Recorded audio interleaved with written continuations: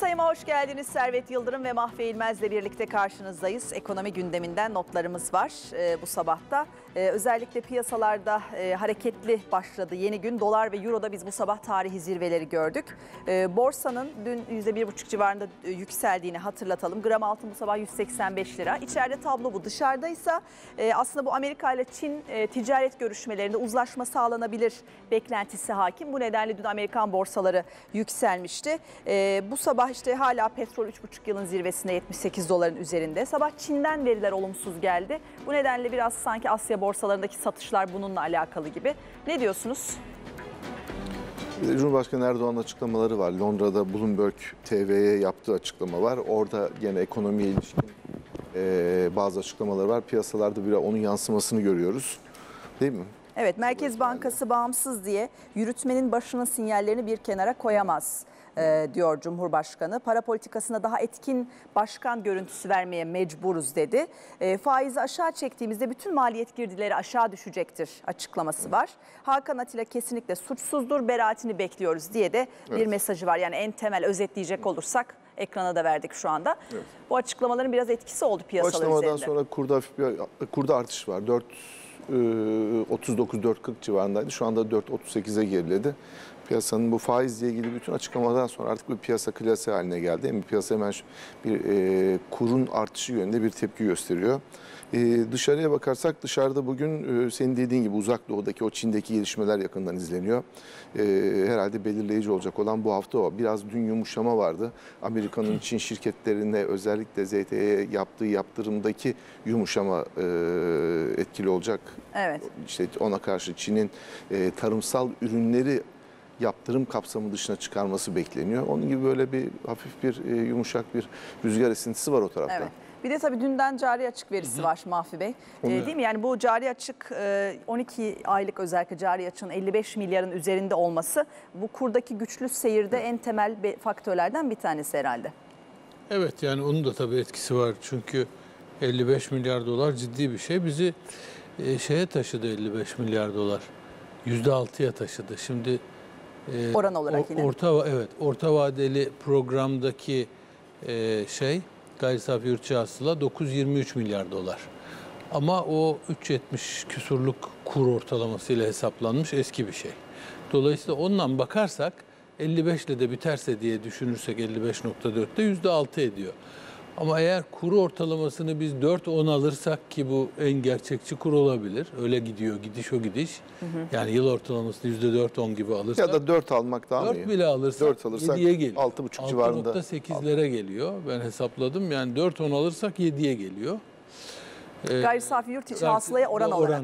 Bu bizi e, oranı. tehlikeye soktuğu oranlar %9'lardı. Oraya doğru hızla gidiyoruz. Tabii bu böyle sürdürülebilir mi? Çok emin değilim. Çünkü büyüme ister istemez düşecektir. Yani Türkiye bu cari açığı, bu şeyi sürdüremez. Bu kurları, bunları sürdüremeyiz biz. Yani bu gidecek, bu devam ettirilebilecek bir olay değil. Evet.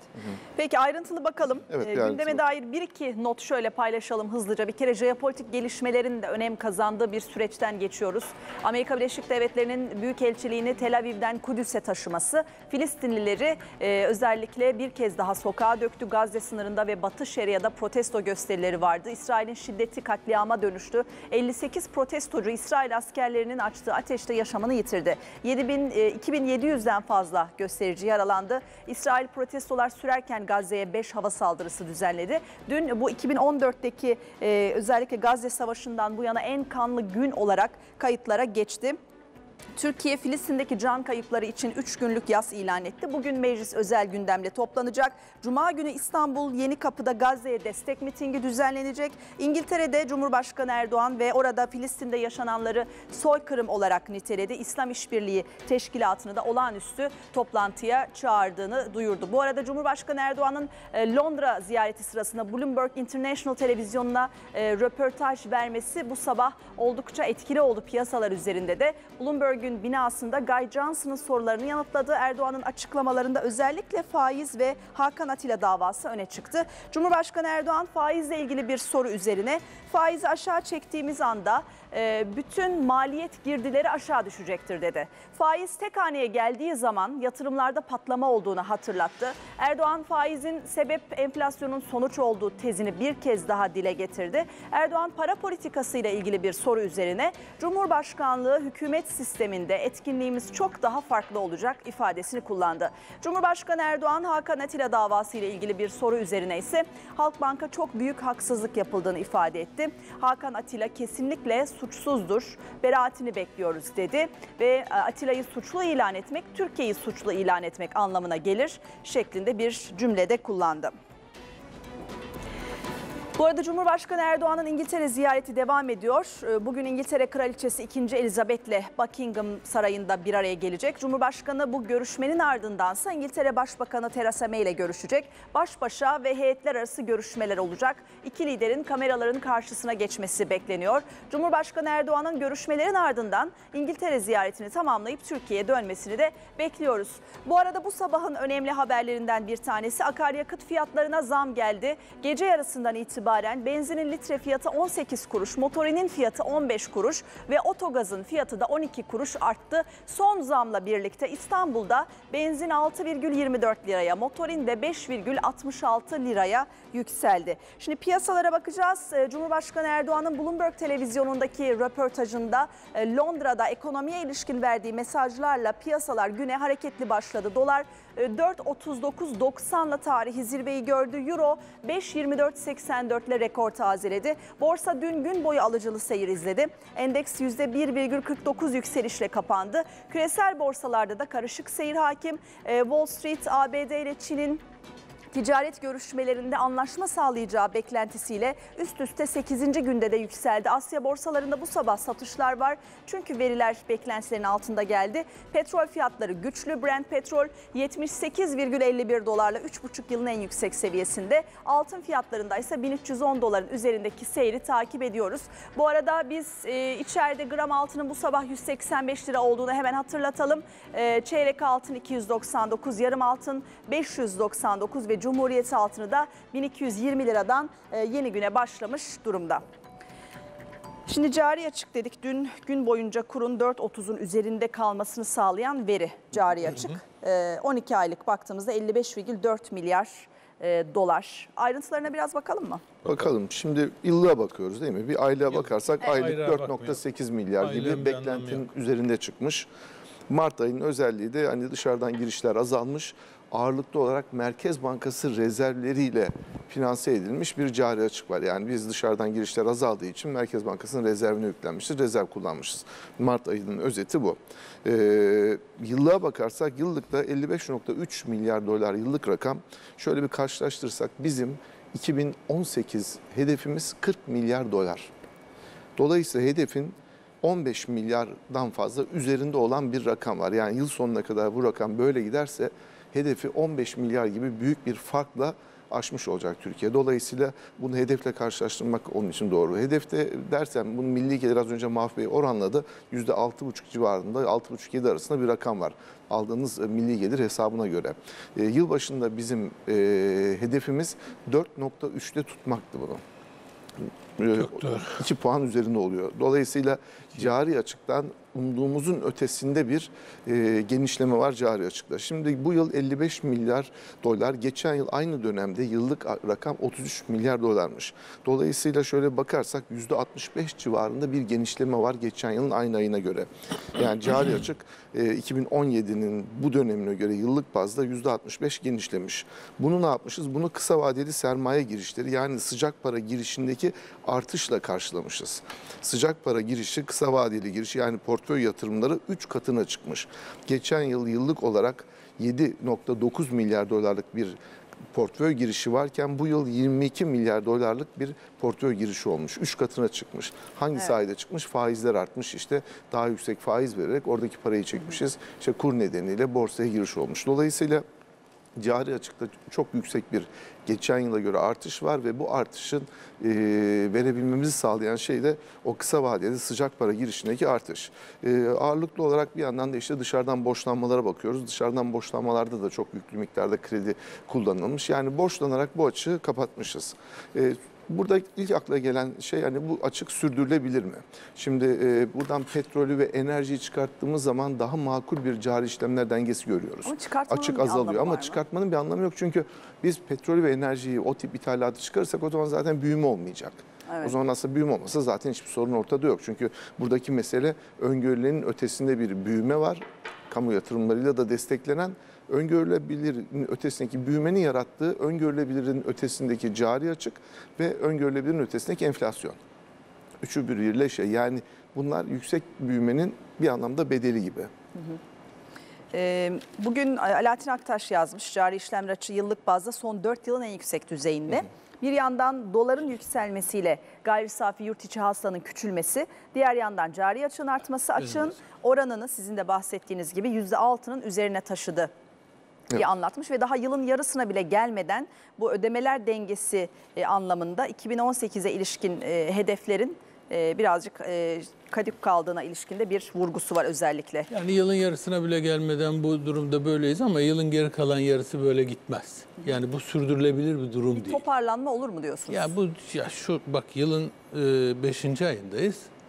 %16 değer kaybı var Türk lirasında dolara karşı. Bu geçen bütün yıllardan daha fazla. Bu böyle giderse biz %40'a yakın değer kaybıyla karşılaşacağız demektir. Eğer onun için bu böyle devam edemez. Bu sürmez. Bir yerde Devam bir et- düzeltme olur. Bir yerde düzeltme olur. E, cari açık her ay açık. Bugün Umalım ki ağır bir düzeltme olur. Vatan gazetesindeki başlık E, Mart ayına göre bir önceki yılın Mart ayına göre 1,7 milyar dolara yakın artış gösterdi. Bu aylık bazdaki veriyi öne çıkarmışlar. E, bu arada rezervden yemek zorunda kaldık. Evet, Mart ayı. Kullanımı e, unsura Habertürk'te Rahimak dikkat çekmiş. Mart'ta petrol ve altındaki yükselişte cari açık 4,8 milyar dolara tırmandı. Yıllık açık 55,4 milyar dolar. Ee, Mart'ta e, cari açıkla birlikte çıkan 2,4 milyar dolarlık sıcak parayı karşılamak için 2,9 milyar dolar kaynağı belirsiz para girişi de yetmedi. 4,8 milyar dolar rezervden yedik diye ayrıntılı bir şekilde anlatılmış. Dolayısıyla Merkez Bankası'nın rezervlerinde azalma oldu. Turizm gelirleri %30 arttı diye bir ayrıntı var yine e, hemen Evet. alt tarafta. Önümüzde yaz hani turizm tarafına ilişkin daha pozitif haberler görüyoruz. Evet yani şu O anda yani biraz düzeltiyor. oradaki olumlu göstergelerden birisi turizm. Turizm tarafındaki bu sene geçen yıla göre rezervasyonların gösterdiği, ön rezervasyonların Evet. gösterdiği daha canlı bir yıl olacak. O biraz daha cari açığı e, törpüleyen bir şey. Yani o da olmasaydı cari açık çok daha yüksek çıkabilirdi. Türkiye bu yıl 40 milyon turiste rekor bekliyor. Turizm Bakanı Numan Kurtulmuş'un açıklamaları var. 2018 için ilk tahminimiz 38 milyondu. Bu hedef 40 milyona e, ulaştı e, şeklinde bir başka not. Şimdi bugün bütün gazetelerde Cumhurbaşkanı Erdoğan'ın e, Londra temaslarına ilişkin ayrıntılar var. Küresel yatırımcılarla Londra'da kritik bir görüşme gerçekleşti deniliyor. Ee, Akşam gazetesinde sabah 18 trilyon dolarlık buluşma demiş. Küresel piyasalarda söz sahibi 25 yatırımcıyla Londra'da bir araya geldi Cumhurbaşkanı ve 18 trilyon doları yöneten banka, fon ve şirketlere Türkiye'ye yatırım yapın e, çağrısında bulundu. Kimlerin bu toplantıya katıldığı ayrıntılı bir şekilde yine e, yer bulmuş ve bu sabah dediğimiz gibi Bloomberg televizyona yaptığı açıklamalarda e, piyasalar tarafında bir hareket yaratmış e, gözüküyor. Özellikle para politikasına ilişkin Cumhurbaşkanı'nın verdiği mesajlar. E, şimdi izleyicilerimizden de sorular ve yorumlar var. E, Çağan Çalatlı bir soru göndermiş bize. Diyor ki özel sektörde dış borcu olan birimlerin ve kurumların ne kadarının döviz gelirine sahip olduğuna dair oransal bir veri var mı? E, mesela dış borcumuz açısından tehlike oluşturup oluşturmadığına dair bir gösterge var mı diye soruyor. Var, bende yok o istatistik ama vardır bu istatistik. Yani bunlar takip ediliyor şu anda. Özellikle Merkez Bankası tarafından takip edilen bir Değil mi? Ben de görmedim. Yani normalde bir ara bir rakam vardı. Toplam 26 bin civarında 26 binden fazla firmanın döviz borcu olduğu, açık pozisyonu olduğu konuşuluyordu. Bunlar içinde bunların e, 2500 kadarı e, toplam bu e, döviz borcunun daha doğrusu açık pozisyonun %80'ini yapan kuruluşlar. Dolayısıyla o 2000 küsür kuruluş üzerinde yoğunlaşıyordu. Hani onlar kontrol edilebilirse eğer, onların borçlanmaları kontrol edilebilirse bu rakam aşağı gelebilir diye E, Onların da hani firma firma bilindiği için hangisinin döviz geliri var Evet. onu ölçmek çok zor değil. Ama en son Şubat'ı mı biliyorduk reel sektörün açık pozisyon rakamlarında? Bunlar gecikmeli açıklanıyorlar. 220, Bende 220. e, Şubat var. 222,7 milyar dolar reel sektörün açık 223. pozisyonu. Milyar dolar açık pozisyon Evet, var. e, yılın 310 milyar dolar da özel sektörün dış borcu var. Evet Ama ne da kadar rakam olarak hani döviz geliri olalım. var O ben de öyle. bulunabilir o. Yarın bakalım. Ee, Süleyman Bey diyor ki Amerika'nın bu nükleer anlaşmayı feshetmesi ons altın fiyatlarını yükseltir mi? Aslında dışarıda da çok önemli gelişmeler oluyor bir yandan. Özellikle dün Gazze'de yaşananlar. Aynen. Ee, Yani jeopolitik risklerin çok arttığı bir dönem. Ee, Birçok Aynen, insan orada hayatını maalesef. kaybediyor maalesef. Yani Trump geçen hafta İran'la anlaşmayı bitirdi. Bu hafta İsrail başlığıyla ilgili yeni bir gelişmeye yol Sürekli açan bir başka bir yaratıyor. e, adım attı. Böyle arka arkaya çok kritik alışmalar, bölgeyi ad- adımlar, e, bölgeyi Maalesef. ve bizi çok yakından etkileyen adımlar. Yani altın fiyatlarını sormuş bu Yani çerçevede altını izleyicimiz. e, belirleyici, asıl belirleyici doların durumu. Dolar güçlü olduğu zaman altın, altın fiyatlarının baskı altında olduğunu görüyoruz. Bir diğer ikinci belirleyici de merkez bankalarının yaptığı alımlar, orta vadede ve uzun vadede yapacağı alımlar. Dolayısıyla asıl dol- hani altının ons fiyatını sormuş izleyicimiz. Ons fiyatının tepki verdiği şeyler bunlar. E, Yani Amerika'nın İran'a yaptırımı, nükleer anlaşmadan çıkması doları etkilediği için altın Doğru. fiyatlarını etkiliyor. Yoksa hani onu doğrudan Dolaylı altına, evet altına bir etkisi. Salih Bey de diyor ki ons altın neden yükselmiyor? Yani eskiden bu tarz jeopolitik riskler olduğu zaman altında bir anda bir zıplama görürdük. Şimdi eski duyarlılığı Bu kalmadı dolar mı? güçlü yani. Dolar yüksek şu anda. Her şeye rağmen bu da, bu da ilginç bir durum yani. Trump'ın bu çıkışlarına rağmen mesela dolarda belli bir değer, değer kaybı olması lazım. Öyle bir şey pek olmuyor. Bu da- Dolarda şöyle 1.05'lerden 1.19'a geldi. Dolar aslında değer kaybetti. Hatta 1.24'e geldi. Hayır, son Ee, O döneme dönem- bakarsak o dönemde doların kaybet değer kaybettiği dönemde altının onsu 1200 doların altından 1300'ün 1300 üzerine geldi. Dolayısıyla orada bir hani e, uyumlu beklenen hareket orada oldu. Ons değer kazandı bu süre içinde. Dolar değer kaybetti ama dolar şimdi tekrar işte 1.23'lerden 1.24'lerden 1.20'nin altına geldi. Ona bağlı olarak da altın aşağı geldi. Yani oradaki uyumsuz bir hareket yok. Onun için doları izlemekte fayda var altını öngörmek için. Enes Altuntaş'ın bir sorusu var. Sanal paralar hakkında geleceğe yönelik düşünceleriniz nedir? Özellikle blockchain ile ilgili. Ya demiş. bunları çok açıkladık. Blockchain ayrı Sanal bir olay. değil o. Blockchain bir sanal para değil. Blockchain bu sanal paraların kullanıldığı bir altyapı, bir bilgisayar altyapısı. O güçlü bir altyapı. Onu muhtemelen ileride bankalarda hatta başladılar bazı denemeler yapmaya kullanacaklar. O ayrı bir konu ama sanal paraların geleceği bugünkünden çok farklı olmayacak. Yani artık orada bir mucize olup da yeniden böyle işte 8-9 bin dolarlarda giden şeyin yeniden 80 bin dolarlara geleceğine ilişkin bir beklenti bende en azından bende yok. Ee, bu kriz kahini Nuriel Rubini'nin bir açıklaması var. Ee, kripto para halka arzlarının %81'i dolandırıcılar tarafından yapılıyor demiş. Sadece %8'i takas ediliyor.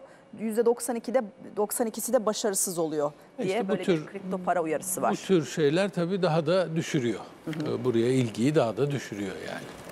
Ee, bu arada bir iki önemli not var. Bir kere şu konut faizlerindeki düşüşle ilgili. En Evet. son TEB de konut kredisi faizini 0.99'a çekti. Ee, kamu bankaları çekmişti, Şekerbank çekmişti. Ee, dün de TEB'den böyle bir açıklama geldi. Arda arda Diğer bankalardan da katılan olabilir ama benim gördüğüm kadarıyla bankalar orada özel çok inceleyip sık dokumak dedikleri şeyi yapıyorlar. Ne yapıyorlar? Bir yani refinansman gibi hani aldığı krediyi yeni krediyle daha düşük faize getirmek isteyenlerin taleplerine çok sıcak bakılmıyor. Aynı zamanda borçlanan kişinin kredi geçmişine bakılıyor. Ona daha fazla bakmaya başladılar. Çünkü dediğim gibi hani bankaların kaynak maliyeti yüksek. Buradan daha düşük faizli bir şey verecekler. Orada bir uyumsuzluk oluyor. Onun için bankalar e, buradan da hani bir e, şüpheli alacak yaratmak istemiyorlar. E, aynı zamanda mesela e, 500 bin TL gibi bir konut değeri var. Bunu bazı bankalar kredinin hacmi olarak uyguluyorlar. Yani o peşinattan sonra kalan kısım. Bazı bankalarda bunu kredi değeri olarak uyguluyorlar. Toplam değer olarak, evin değeri olarak uyguluyorlar. Yani orada da şey var. E, e, onun için burada bankalar kendilerince kendi portföylerine uygun şekilde oldukça sıkı inceleyerek kredi verme eğilimindeler şu ana kadar gördüm. Gelen taleplerine duyduğum kadarıyla önemli bir kısmı e, şu anda refinansman ihtiyacıyla yani e, aldığı daha önceki kredileri e, tekrar e, yeni kredilerle değiştirmek gibi taleplerle geldiği de oluyor. evet. Buna çok sıcak bakmıyor bankalar. Bir iki önemli notta hazineden e, bir açıklama vardı. Bu kambiyo ile ilgili bir uyarı da hazineden diye bugün gazete başlıklarına yansımış. E, kambiyo rejiminde işte bir değişiklik olabilir e, gibi e, çıkan söylentiler yanlış ve eksik bilgilendirmeye dayanıyor şeklinde. E, bu da önemli bir not. Şöyle bir şey var yani son dönemlerde çok yaygın bir dedikodu bu. Kambiyo ile ilgili bir takım kısıtlamalar gelecek. Hatta hep bize de soruyorlar ya sabit kura geçirirse ne olur, şöyle Evet. mi olur, böyle mi olur falan filan diye. Bu arada 1567 sayılı Türk Parası Kıymetini Koruma Kanunu ile ilgili kambiyo düzenini yapan kanunla ilgili bir e, düzenleme yapılıyor. E, bu düzenleme ile ilgili olarak da bu düzenleme ortaya çıkınca da böyle bir söylenti çıktı. Ha demek ki işte böyle bir kısıtlama gelecek diye. Hazine bunu açıkladı. Çok net bir şekilde bunun böyle olmayacağını hatta tam tersine izin almaksızın işlem yapma hacminin e, e, çerçevesinin genişletileceğine ilişkin bir açıklama yaptı. Merak edenler Hazine web sitesine girip bu açıklamayı okuyabilirler. Net bir açıklama Evet, bu konuda orada. net bir Bence açıklama. iyi de oldu çünkü çok konuşuluyordu. E, sona geldik. Bilmiyorum var mıydı ekleyeceğiniz ama. Yok bugün bir az önce bir haber okudum. Zuckerberg'in Facebook'un kurucusunun 34. yaş günüymüş. 34 bir hesap yapmışlar. Evet bugün daha? 34 yaşına basmış. 74 milyar dolarlık net varlığı var. Dolayısıyla tüm İnanılmaz. yaşadığı gün sayısına bölmüşler. Günde 5.9 e, milyon dolar kazanmış. Günde. Evet günlük kazancı yani ömrü boyunca her gün ortalama olarak. Ondan daha fazla kazanan Bezos, Amazon'un kurucusu. Onun e, günlük kazancı 6.8 milyon İnanılmaz dolara varıyor. rakamlar değil mi? E, yarattığı servette 132 milyar dolarlık bir net serveti var. E, böyle bir hesap yapmışlar. Ya, tabii anlamlı bir hesap değil ama kısa sürede yarattığı şeye değer açısından bakıldığında da e, çarpıcı. Zenginin parası Evet. züğürdün çenesini Biz e, yorar mı? 4.40 civarında kurla başladık. Evet. Zuckerberg'in günlük kazancıyla bitirdik yayını. Bu arada e, bu gece kılınacak bu ilk teravih namazı ve ardından sabaha karşı yapılacak ilk sahurla Ramazan ayı da başlıyor yarından itibaren. E, Ramazan'da gıda israfına dikkat başlıklarının da altını çizerek noktalayalım. E, özellikle Gümrük ve Ticaret Bakanlığı da bilinçsiz gıda alışverişi yapma eğiliminde olunduğuna Evet. dikkat çekti. Bir açıklama yaptı. Hani önceden alışveriş listesi yapın, çok açken alışverişe gitmeyin gibi bazı uyarıları var.